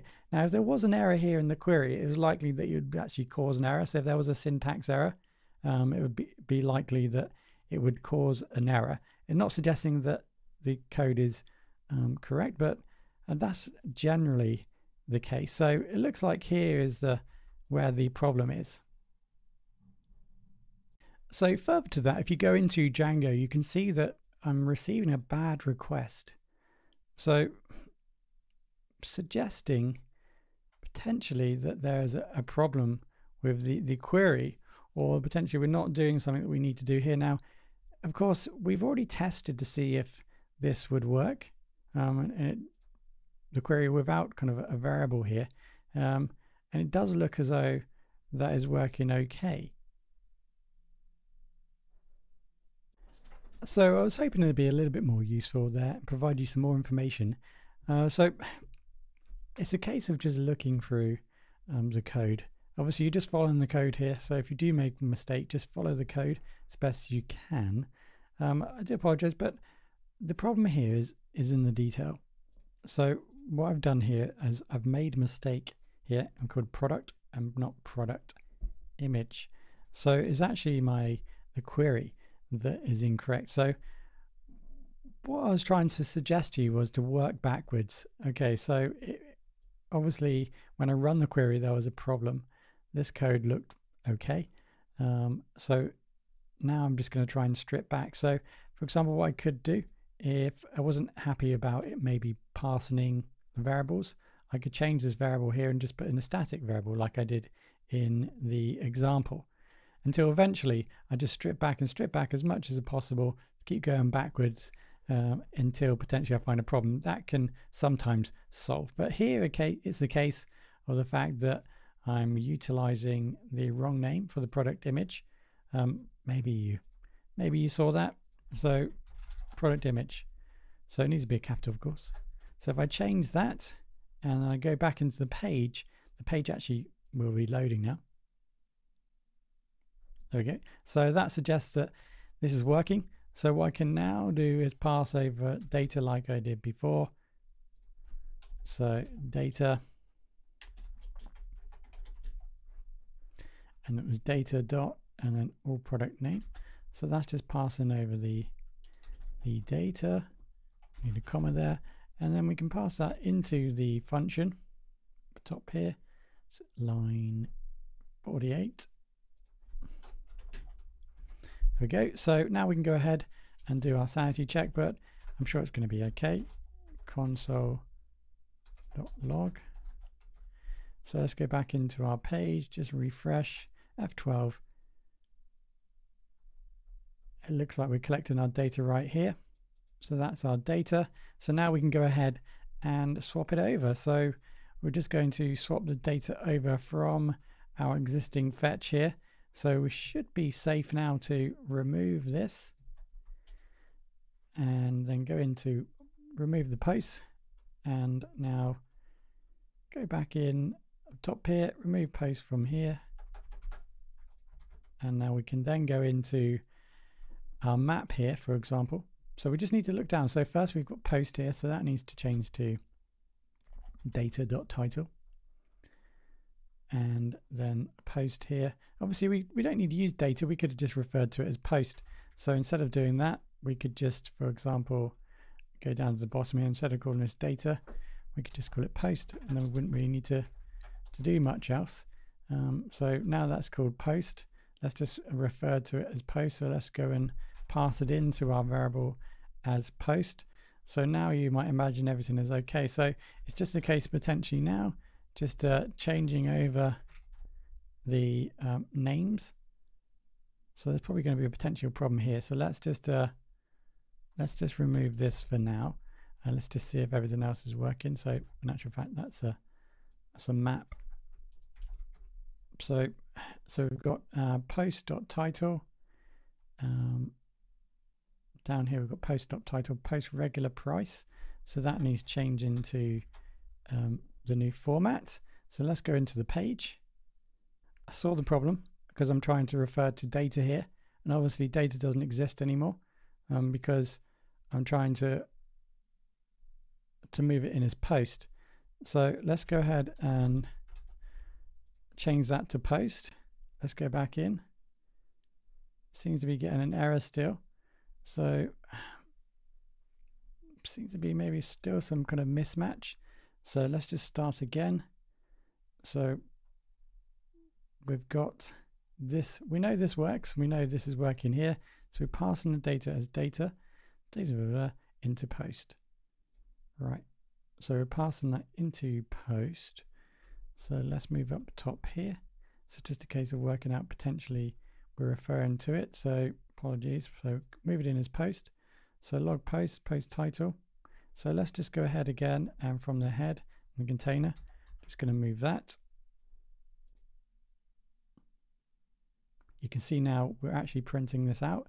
So potentially this is suggesting to me um, there's a problem here uh, with the code uh, moving down. So maybe there's something that I need to, to change here. So I'm just going to get rid of um, this this here, this paper here, this image here, because this is potentially referring to the wrong data. It's calling the wrong data. Um, so that's that. So data categories, that's fine. Post post title. Okay, so it's called post title, so I think that's okay. So there we go. So now the page is actually loading.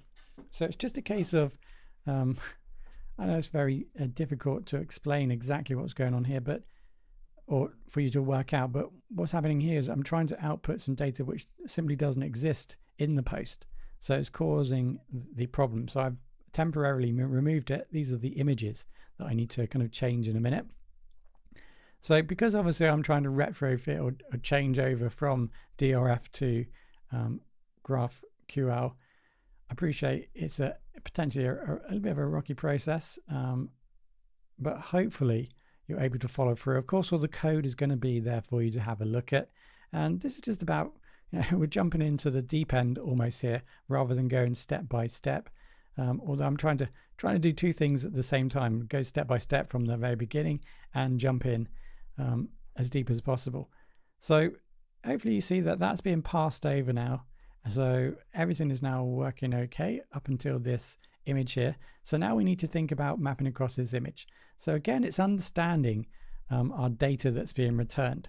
So what we've done here, apologies to keep moving around, what we've done here is we've taken our data, we've drilled down to just the data. So that leaves us with just the data that we can reference inside of post. So let's go back up here and let's see if we can sort this out here. So this component here is the top one here. Um, we should have a yeah, we've, we've got this map here. So what we're doing here with this one, let's just um, have a look at this. So, so we've got two components. So this is basically printing out all the images that we have about that particular product. So we're going to need to loop through that. So let's just go back into our, so, so we're, we're calling this a product image. So that's a reference then to the image section. So that's what we need to loop through. So let's go back in. Let's just go back in. So we've got inside of a post, we've got the product image, and it's that data what we want to loop through. So we're going to loop through that data as C, whatever you like. And uh, now we need to print it out. So um, the data inside of there is now C. So let's give that a go. So that's going to print out the, the first one. Um, that it finds after each loop. Okay, so we don't want to do that because we want to print out all of them. So let's just go into, let's just output the image and the um, alt text. So the alt text, remember, is formatted differently. So to confirm, so we go into the data.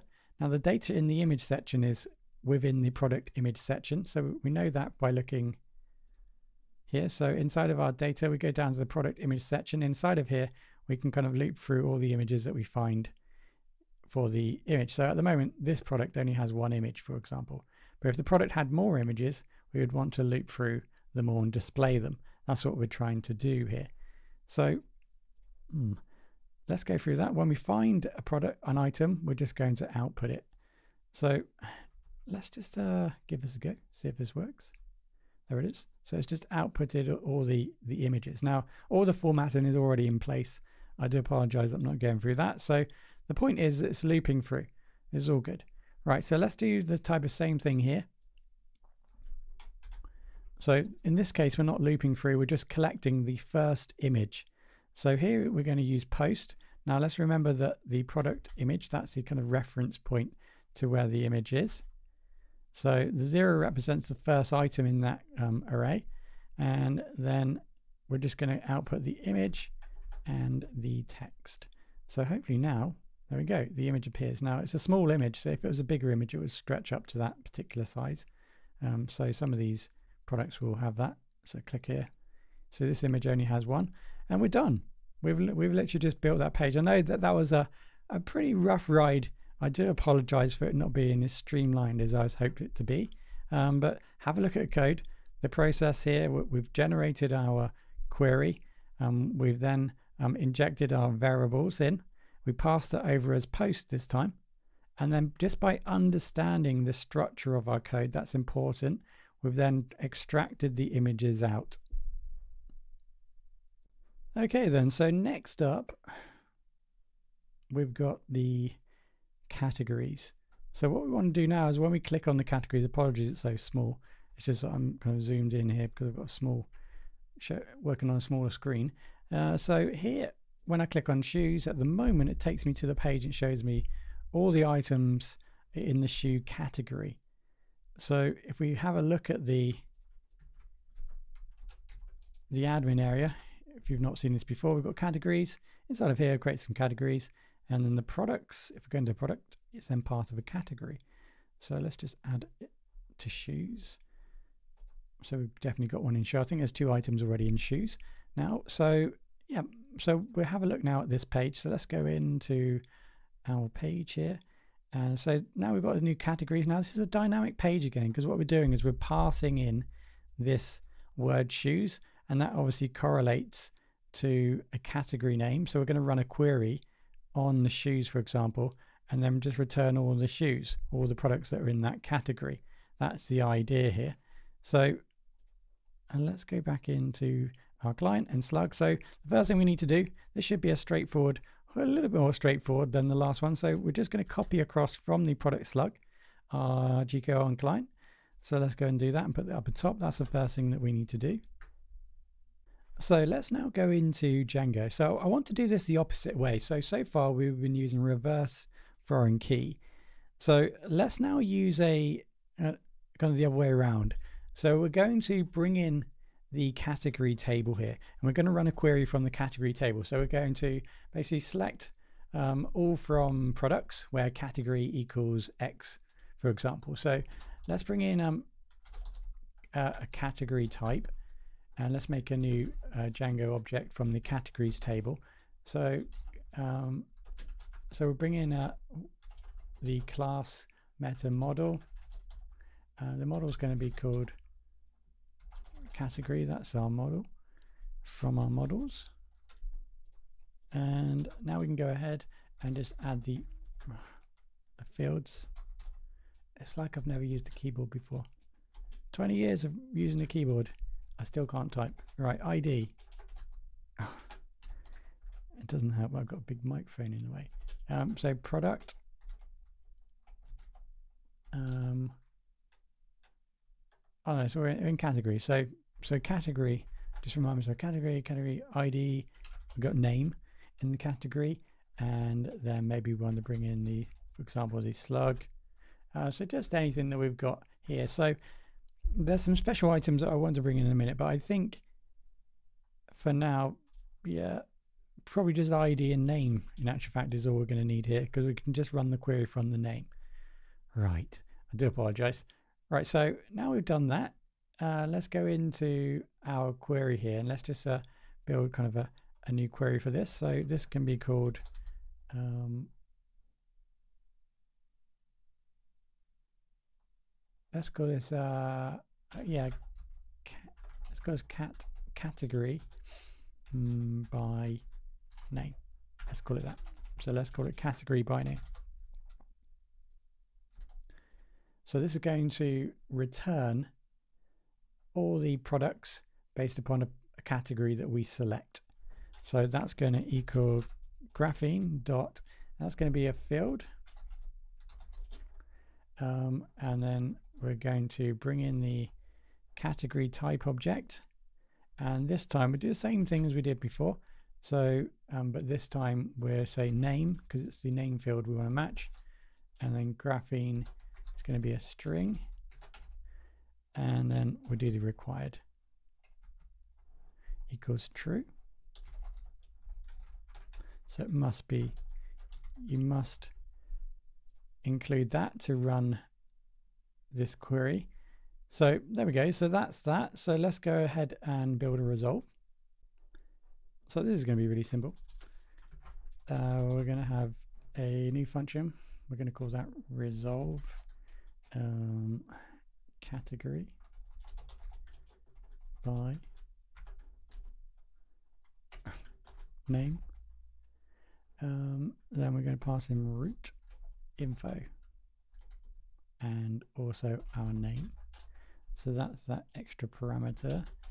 And then we're just going to try and run a, a query. So let's uh, return the category uh, dot objects dot get and then we want to get the category name equals the parameter name and then yeah, we can set out except category dot does not exist. Return none.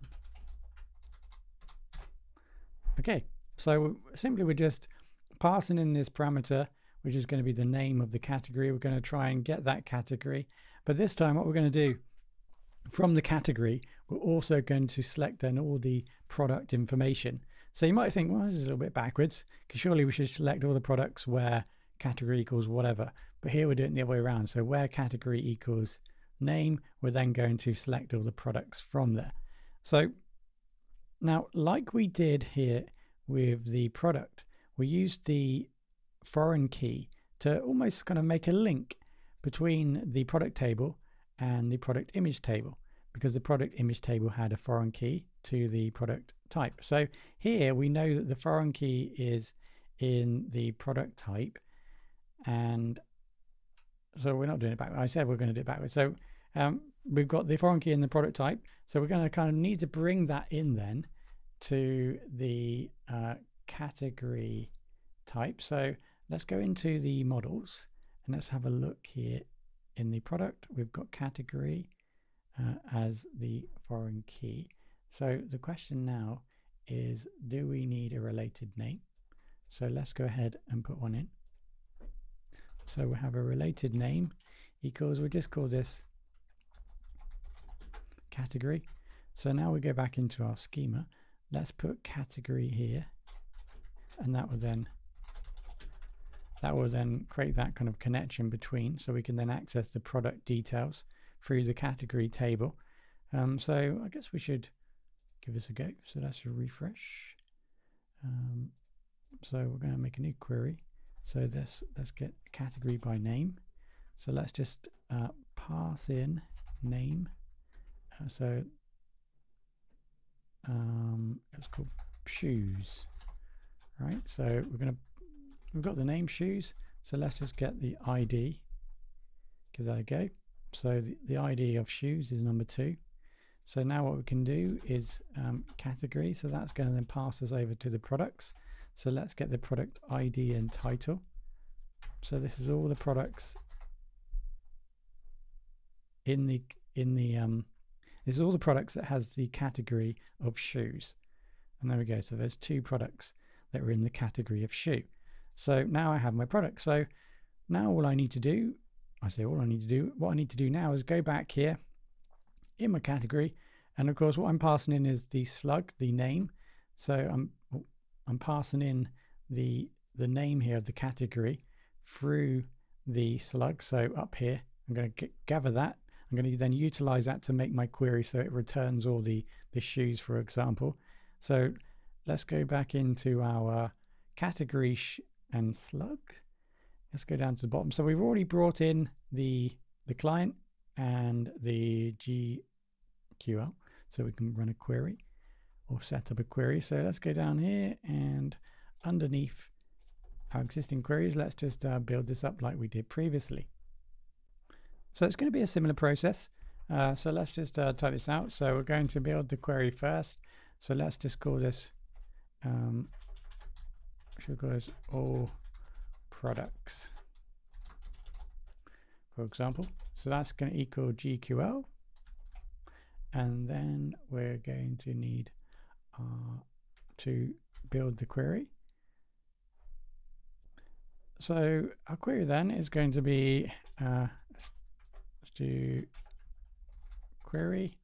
Um, we're going to then pass in the name. Um, that's going to be a string. Um, and then we're going to need the category. Um, oh, what did I call it? So look, category by name. So we can probably just go ahead now and copy this in.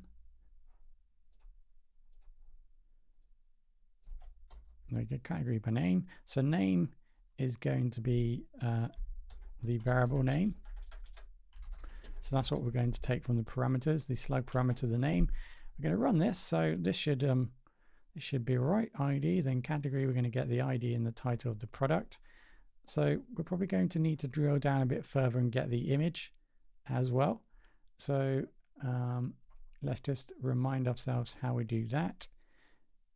Let's go into the slug product. So here, if you remember, um, we got the, well, we're going to need the, the title, description, and everything else here. So let's just do the image first. So we'll just grab that and go back into our category. Uh, so here's the product image. So we've got the category. So we've got the, the information about the category here. We go into category. Remember, this is referring to the product. So we take out the ID and title. Now we probably also want the description and regular price maybe. So let's bring that in as well. And then what we do is then we go in further into the image. So we reference that by product image. We get the image of the, the product and that's we're going to get the ID image and alt text. So yeah, I think that's a that's good to go. So let's go ahead now and just plug this in. So this is um, it's going to be uh, name is then going to equal params dot slug. So we're going to grab the the slug.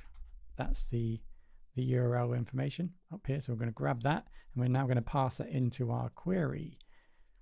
Okay, so let's build this up.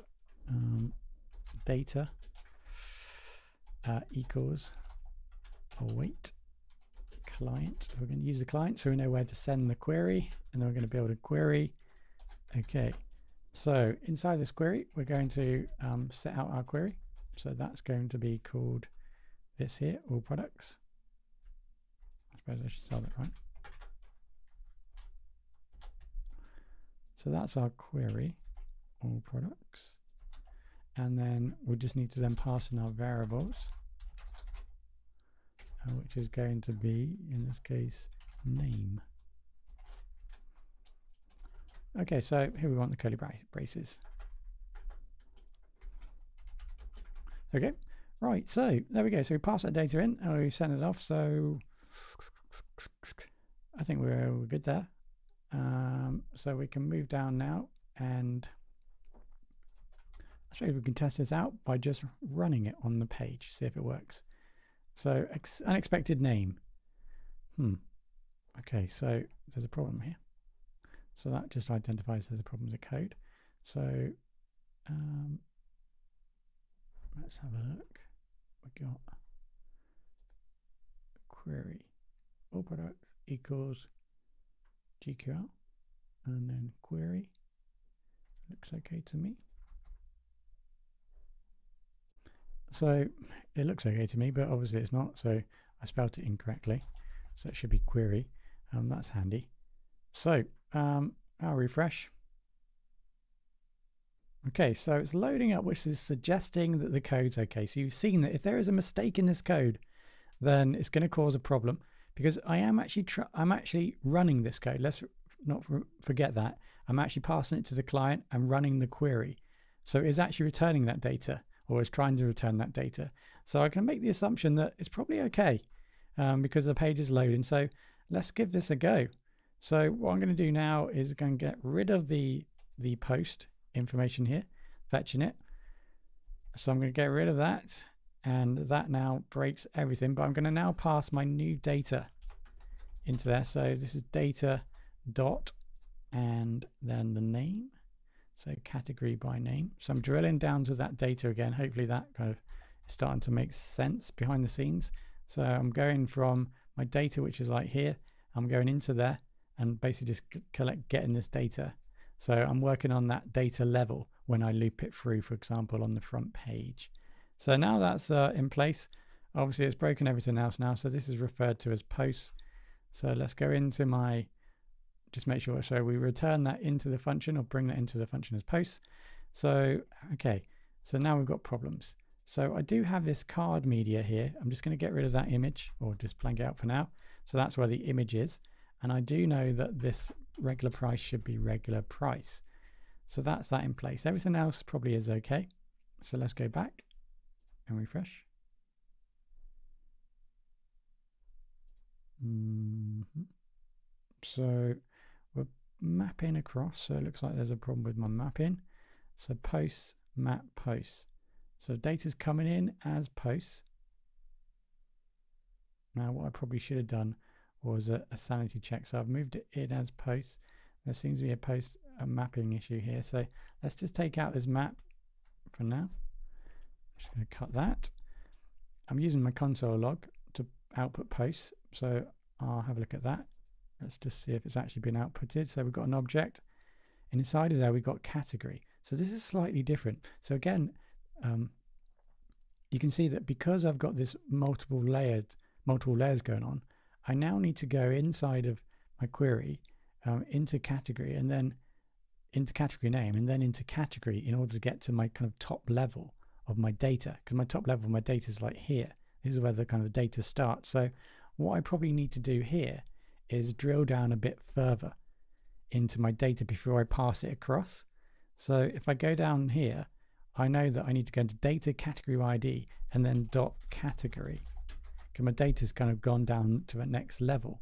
So now when I run this again on my page and refresh, you can see when I've collected the data, I'm left with just the data that I can then kind of work with. Obviously, I don't need to do this. It just type makes it easier to work with when I pass it over to that function and use it to output it onto the onto the page here. So now I've got that in place. Let's go back and just put in the oh, the map again because I should now probably have access to that. Um, it probably still won't work, mind. Oh no, okay. So you can see now I'm I'm actually mapping out items. So now I just need to um, work out the images. So work out the format of this image. So let's go and actually sort out this image because I think it's this image here is uh, ruining everything at the moment. So we need to go into the data. We need to find out what the data is referred to in the image. So we go into data, we go to category. Oh, well, actually, let's um let's not use that. Oh, excuse me, excuse me. Uh, so down here we go into category and then we need to go to regular price and then product image. So up here then it should be post and then regular reg oh, product image. Excuse me. So that's where the data is, the image data is. So we're just going to extract the first item and then print out the image and the out, out, out text.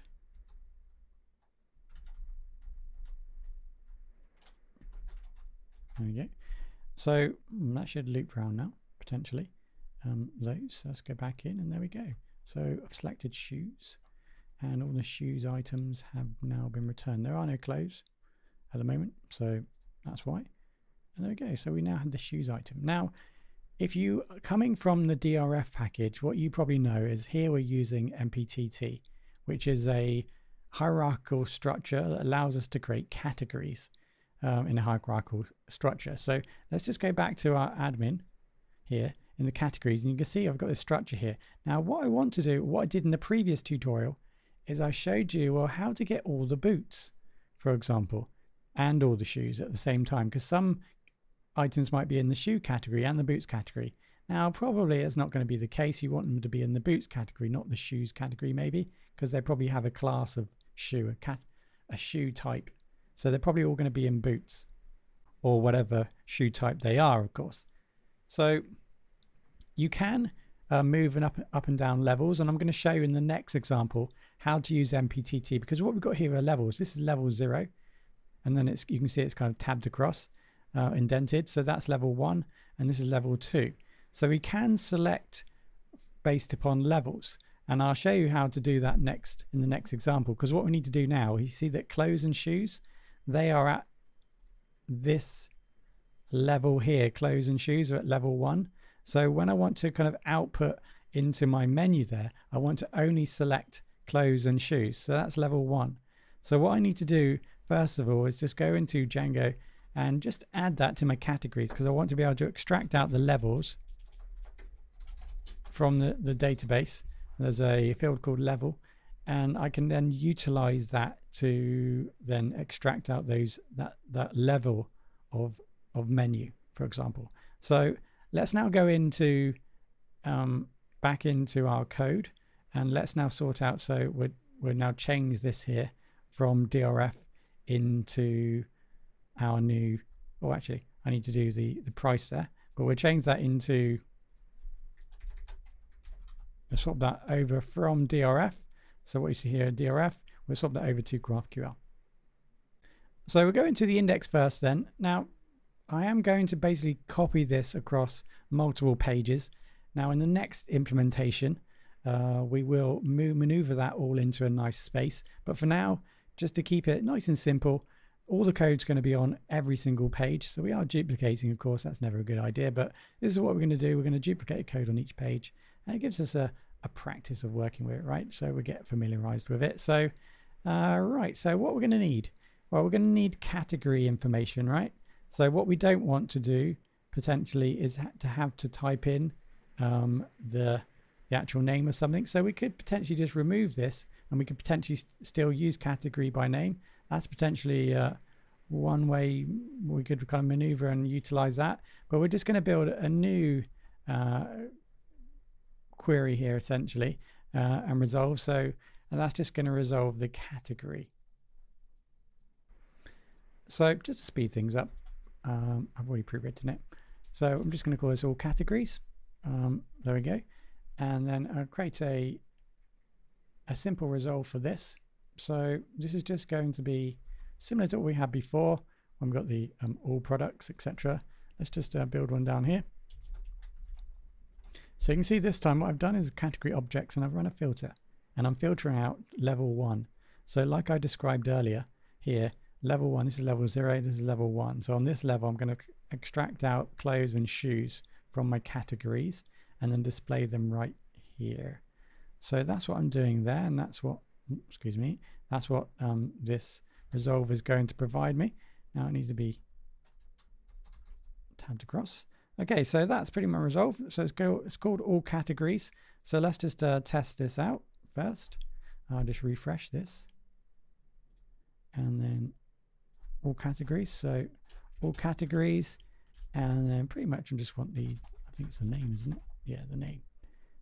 So that's pretty much all I'm going to need. And there we go, I've got clothes and shoes. So if I change the level to zero, it would output, in this case, it would output the name men. If I did uh, level zero and two, it would output boots. So that's how I'd get different levels there from utilizing MPTT and my categories. Right, Apologies for flicking in between things, but here I'm back now in my index page. And next, I'm now going to remove this, this category here. I'm in the index page. Let's get rid of these. In the index page, get rid of that. And now I need to build up a new request. So like I said, I'm just doing this manually for now. Um, so let's just go ahead and do this. So I'm assuming you're getting familiar with this now. So let's just go ahead and do this. So we're going to create a new uh, query here, and we're going to pass this into categories.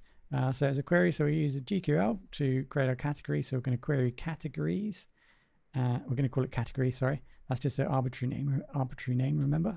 so all categories, ID, name, slug, and that's pretty much it.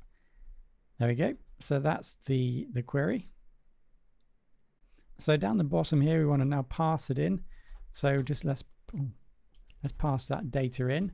So that's going to be categories dot data. So categories dot data dot all categories. So that just drills down to the data. Excuse me. So that just drills down to the data and all categories.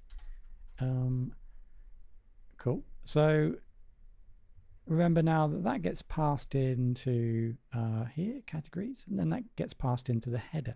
So you may have not seen this before. So we've got the header in the component. So this data is being passed down the drain to the header. So that's a new component. So now we can go over to the, the header component and you can see that that get passed over um, as data and then it does its stuff in here. So I'm not too sure if there's too much we need to change here. We're just using the name and the slug, so category name and category slug. We are mapping it across, so data.map category name. So let's just give it a go, see if it works. Looks like it works fine. There we go.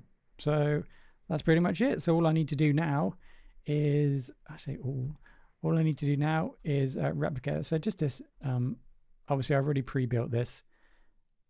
Uh, you can see that, apologies, the, the data gets passed in here as data. It's referred to here, so data equals that. So what I'm doing is I'm passing that into this function here. Then I'm just basically, like I've done before, just looping out the data here. So data mapping this. For each item, I refer to it as category and I output the name and the slug. That's what's happening there. It's all kind of been pre-built. So have a look at the code. Right, so the index is done. So let's open up the uh, the slug category, uh, the product. Let's go in here next. So we can probably uh, more or less just copy this across and we get rid of the, the existing element there. So we now bring in categories and then at the bottom here, we just copy this out, go into the slug in the product and then just print it out there. So that's pretty much all we need to do at that point, I think. Um, let's give that a go.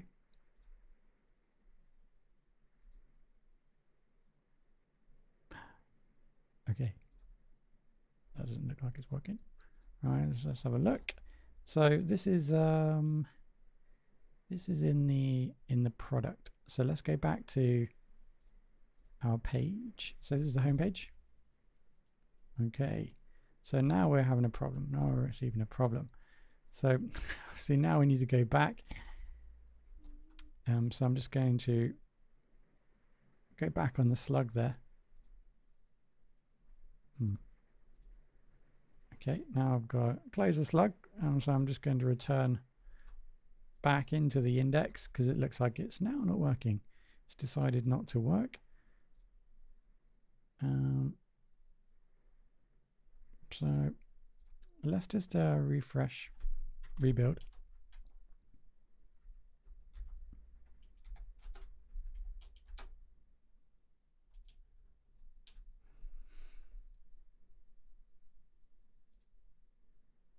Okay, so we definitely we definitely have an error. Is because we didn't check this page, this particular page, um, last time. Right, so uh, let's just double check our our query. So we've got name. Let's just run our query first because we didn't actually test it out. So let's give this a go. I'm going to copy that in to there. Yep, there. Okay, so you can see that potentially that isn't working. So we've got slug here uh, for some reason. So let me just remove that and save that. So that seems to be working okay. So let's go back into our query here. So it looks like we don't have slug. That looks like maybe the, the issue here because we've not asked for slug. So let's refresh that. There we go. So that was the problem there. It's because we're asking for a piece of data that we're, actually, we're not actually sending forward to um, for our query to actually utilize. So we could obviously change that by going into Django here. Um, so we're back into our schema. Up the top here, you can see that in our category, we're not passing in slug, and that's why we're not able to retrieve it. So back into next, uh, we can now go ahead and copy across. So index, um, category slug. Let's get rid of this item here. Let's bring in our, our code And then at the bottom here, let's just pass it into categories. So we just copy that across.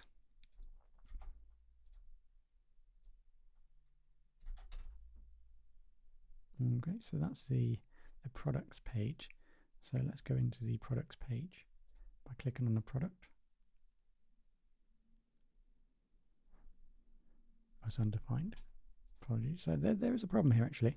I've just noticed um, we're getting undefined, but when we um when we click on the products and we go into one, you can see that it looks like it's okay. So we did have an undefined there. Um, that's interesting. Maybe there was just a, a refresh. Okay, so you can see that it's working now on that page, the the menu system. So as you might imagine, the last step is going to be going into the uh, we're in the category one at the moment, aren't we? So the last step will be going into the product, changing the categories there, and then just copying across the category stuff over here. So like I said, we'll move this into a separate place. We'll, we'll be able to run queries from a separate page, for example. So we'll put all the queries uh, in a separate page uh, and then we'll call them as and when we need them. So that's where we go with this. So there's no need to, for obviously for us to duplicate this. But for now, I just wanted to go to this, what I call stage two of doing this. So you can clearly see now I've got two different, um, I've got two different queries now here. So you may be asking yourself, well, why didn't I call this, for example, categories? So why didn't I do something like this? Obviously, I couldn't call it data so why didn't I do that? Um, so this is on the product page. So let's go to the product page and have a look, see what happens. What was that one there? It's from that page. It seems to be an issue. Yeah, okay. So it's on the shoe page. I just need to change the slugs. There's no slugs on that page, but uh, what page were we looking at? Uh, the product page, wasn't it? Yeah. There we go. So it doesn't quite work um, that way. So the the problem is here. If I if I don't have if I do it this way, then I'd be referring to the data down here as data again, and of course that um, causes a kind of a mismatch. So yeah, this is why I've, I've utilized this type of approach. Just for now, really. Um, like I said, we'll, we'll move this into a separate file. Uh, so this is, has a, a different variable and kind of set up if you're wondering to this type of approach here, where essentially I'm just putting it straight into data rather than just using a variable name and then going into data. So just a slightly different setup and I'm extracting that data out from kind of the baseline here where the data kind of resides. Um, right, so the last thing, let's just fix this last point. So when I go into my categories, when you can see that um, I, I seem to have issues here with linking. So it says category undefined, bizarrely. Um, so we're not actually, we don't seem to be getting the detail or the information that we need here. Uh, this seems to be the problem, or undefined. Um, so we're not finding, you can see down the bottom here, it says, wait, I'm not sure if you can see that. Uh, it's, it's referred to as undefined. So these links aren't actually working at the moment. So it's good. The code seems to be okay. It's not crashing, so suggesting that we just simply can't find the data as we as we believe or how we think we should. So let's go into our header here, and let's let's do a console here. So let's have a look to see what how the data is actually being prepared, so that we can potentially see. Oh. What happened there? Console.log. So we can actually see what data is being passed across. So I think it's referred to as data. Yep. Okay, so let's um, console log that. See if we can do that.